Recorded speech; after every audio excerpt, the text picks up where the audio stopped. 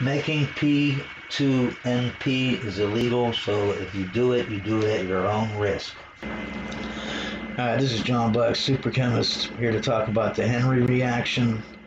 Um, the Henry reaction is a nitro-aldol reaction, same thing. Um, you're making a beta nitro alcohol. Uh, if you know the aldol reaction, it's pretty much analogous to that. Um, you get a nitroalkane, uh, you get an aldehyde or a ketone, and you get some kind of base catalyst. You mix them together and you come up with a beta nitro alcohol. Okay, so here's your nitro alkane and here's your ketone or aldehyde. I used a ketone. The R's just stand for any random hydrocarbon dangling off. They really don't matter what's dangling off. All that matters is the functional groups. Now, and you can see I have two positives here. Why are they positive? Because this one has an oxygen which is very electronegative. That means it wants to suck up on electron density. And if it does, it leaves this carbon with less electron density, making it partially positive. Now look over here, you not only have an oxygen, you have two oxygens and a nitrogen. All three things very electronegative. They're sucking electron density away from this carbon big time over there. Okay, and if you watch my nitromethane uh, video, you'll know that a nitroalkane is actually an acid. Okay, it sucks up on electron density so much that if it loses a proton, right, a hydrogen, it doesn't matter about the negativity because these are so electronegative and there's so many of them that it just distributes that electron density so nice that it, it stabilizes what's left. So if you have two positives, how are they going to react with each other? That's where the base comes in, your primary amine. Okay, and you can have other types of bases. I'll get into that. Right now, we're going to use the primary amine. It comes and it snags that hydrogen off of there. There's two hydrogens, even though they're not shown. Snags one of the hydrogens. When it does that, this is now negative because it took the proton, right? It took a positive proton and left it negative. Now you have a negative and a positive. Now they can link up like magnets, right? I want you to look over here. Here's your nitroalkane, right? And here is your ketone. Here's where the double bond used to be. You can see one of the double bonds fell over to connect these two molecules together. Right? You can see right there. And it left the negative charge. Remember, this is negative, so when you link both of these together, you're still going to have some negativity somewhere. That negativity jumps up onto the oxygen. And now, remember, this amine base is a catalyst. That means whatever it does, it does the reverse thing later on so that it, you know, like it gave up a hydrogen here, that means it gives a hydrogen here so that it goes back to what it used to be and it can be reused again to take another hydrogen, right? When it does give a hydrogen, now you have this, okay? Now you can take that and you can extract it out of your pot and, you know, purify it and you have this product. Then you can do two things with it, okay?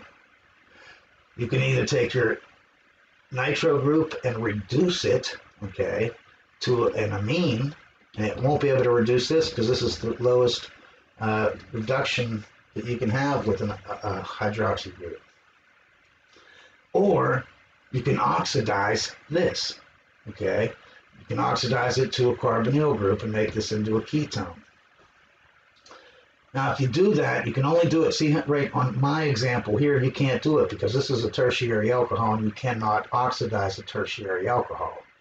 But if you started with an aldehyde instead of a ketone, one of these R groups is going to be a hydrogen. This one right here will be hydrogen.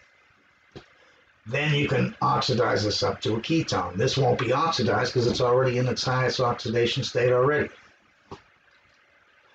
But we're not doing that. We want to make this hydroxy group into a double bond right here. That's what we want to do. Now, so far, this reaction is pretty much uh, spontaneous. You know what I mean? You can just mix all this stuff together and stir it for a while, and I think you'd have your product. And you can see, as soon as you add in the base, you can see color change. It'll start changing into a yellow and then an orange and then a red Uh, but as soon as you put it in, it'll start turning yellow. You know you're making something at that point. No heat is required. No nothing. You just add it, stir it up.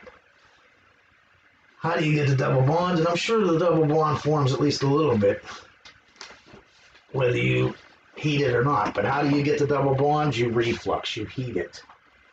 Now here's what we just had up here, right? This right here we were talking about. Now let's say we want to get our double bond on there. I drew an H on here. You can see if I take the OH and I take the H and I pull them off, it makes H2O, right? Then, since one's negative and one's positive, you're pulling off a neutral thing, so what remains is neutral. Where does the double bond come from? It comes from this bond right here that holds the hydrogen on. The OH takes the electrons with it, right? It's negative, but the proton hydrogen just comes off by itself. It doesn't take any of its electrons. So those electrons fall or swing, right, into this, make this double bond. The thing about this reaction is, is everything is reversible and everything forms an equilibrium. So when you make this, it actually goes back because it's reversible. It goes back to, you know, other, back to the uh, beta nitro alcohol. Okay, you make it and then it goes back, some of it at least, and it keeps making this until it forms an equilibrium. Basically, I just this and this is the same thing. I just like drawn this way. Okay, it's, I just flipped it around. I just these two R's are kind of moved onto here. That's it.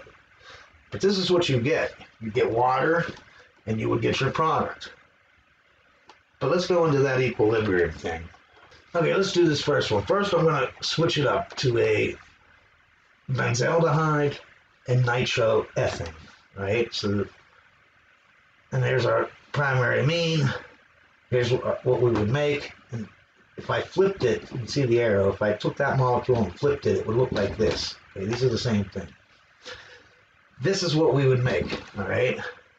But if we heat it up and we start refluxing it after we add the amine, we start refluxing it with heat. This is going to start dehydrating into, into our product, right? Or nitropropene. I'm making up numbers. I don't know what the ratio is, but let's say it's a one to one ratio for the equilibrium, okay? That means that it'll keep, this will keep making this until there is a one to one ratio between the water and this okay? Let's do an example. Let's say we have 100 molecules of this. We heat it up, heat it up, right, with our amine and our um, whatever. Um, when half of this turns into the nitropropene, right, that we want, that means half of it is left. It didn't react, right? This part right here did not react. For every molecule of this that we make, we make a molecule of water. So these have to be even. And we know there's a one-to-one ratio so have, they'd have to be the same, right? We know that we have started with 100 molecules. If 50 of it got transformed, then we have 50 left over, right? Now, this is the way Chemplayer did it, and he used methylamine, and so he was kind of forced to do it this way. But let's say that you could take the water out. If you could take either one of these out of the pot, then you'll start producing more. The reaction will start taking off again. Why? because you need a ratio of one to one. Let's say I take the water, I could stick my hand in the pot and just pour out 50, the 50 molecules of water. Now you have a ratio of 50 to zero. There's, until the ratio is one to one, it'll keep making more. So let's say we do this. We do our 100 molecules, we make this. Now this doesn't react because it can't react anymore because you got a one-to-one ratio. We take the water out. Now you have 50 molecules left, right? We took the water out, so it starts making more of your product. But it also starts making more water, okay? So now you have 25, 25. Now you made a uh, one-to-one ratio. So it stops making your product again. But let's say you take more of that water out. Okay, now you got 25. It, you know, it starts making your product again and water. Now it's 12 to 12. My whole point is, is if you keep taking the water out, you'll keep making your product. Instead of ending up with a 50% yield, right, you can end up with a 50 plus 27 plus 25 plus 12 that's 50 60 70 80 that's 87% right there you do it again you get six you're up into the 90% of a yield you know what i mean? Because you took the water out okay? And you let the equilibrium keep building up and building up. Now keep in mind and this is very important so listen to what i'm saying okay? Listen to this this is very important. This is an analogy. This is not what really happens, okay? The equilibrium is actually between all four uh, chemicals, the two reactants, and the two impurities that you make the product and the water impurity. Those four things. It's a ratio between all four. It's just too complicated for me to get into that right now. So I did this as an analogy so that you can see that the more water you take out, the more you can make of your product. Take the water out, you can make more of this product. Take the water, you know what I mean? It's not a one to one ratio between the two over here. It's a ratio between all four of them. Uh, so it's more complex. Um, I don't want to get into it in this video.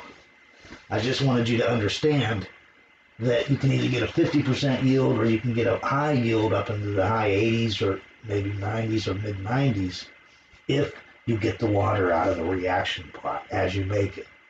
I mean, if you think about it, if it was a one to one ratio just between these two things, as soon as this molecule made one molecule of this, it would make one molecule of water and the reaction would stop.